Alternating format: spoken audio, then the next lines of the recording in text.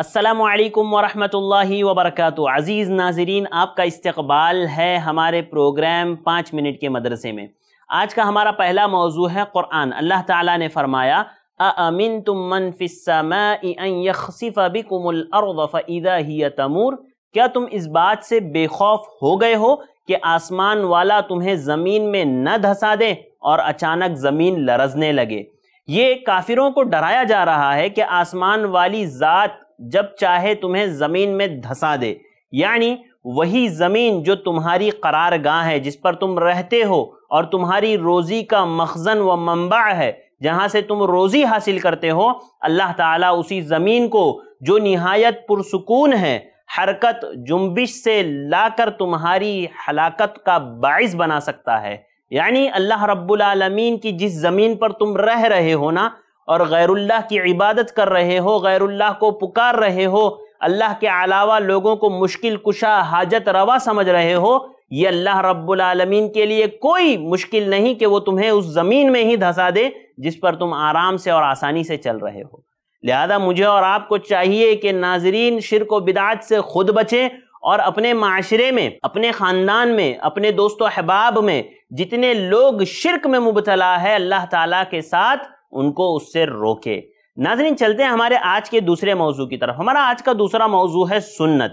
سنت میں آئیے حضرت عائشہ رضی اللہ تعالیٰ عنہ کی ایک روایت سنتے ہیں۔ انا عائشہ رضی اللہ تعالی عنہ قالت کان رسول اللہ صلی اللہ علیہ وسلم اذا مرض احد من اہلیہ نفث علیہ بالمعوذات۔ کہ حضرت عائشہ کہتی ہیں، جب آپ صلی اللہ علیہ وسلم کے گھر والوں میں سے جب کوئی بیمار ہو جاتا تو آپ صلی اللہ علیہ وسلم سورة الفلق اور سورة الناس پڑھ کر کے ان پر پھونک مارتے یعنی دم کرتے تھے۔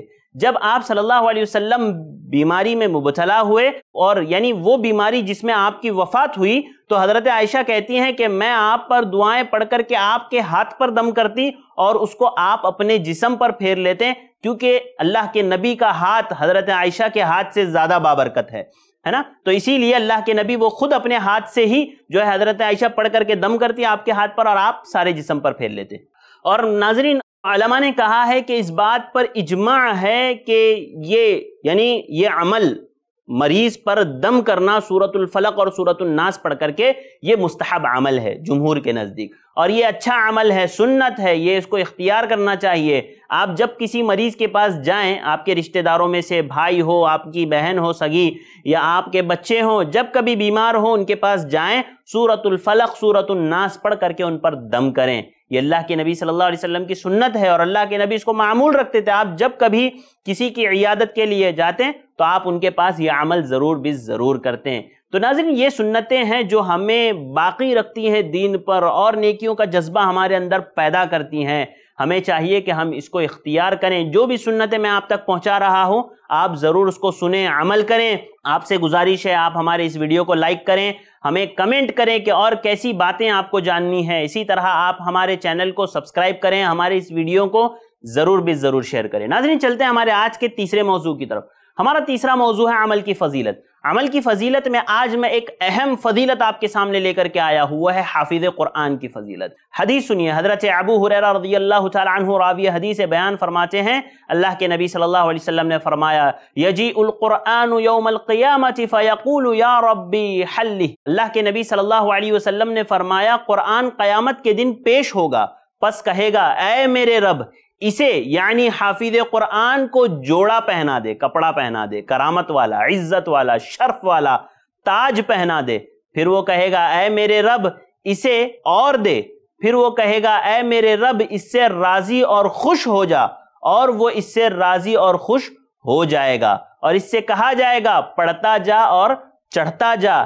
ہر آیت کے ساتھ ایک نیکی کا اضافہ کیا جاتا رہے گا۔ ناظرین، یہ حدیث جو میں نے آپ کے سامنے رکھی، بڑی ہی پیاری حدیث ہے۔ ان لوگوں کے لیے جو حافظ قرآن ہے یا ان والدین کے لیے جو اپنے بچوں کو حافظ قرآن بنانا چاہتے ہیں۔ کتنی بڑی فضیلت ہے۔ اللہ تعالیٰ کل قیامت کے دن حافظ قرآن کو عزت اور شرف کا تاج پہنائے گا۔ عزت اور شرف والا لباس پہنائے گا۔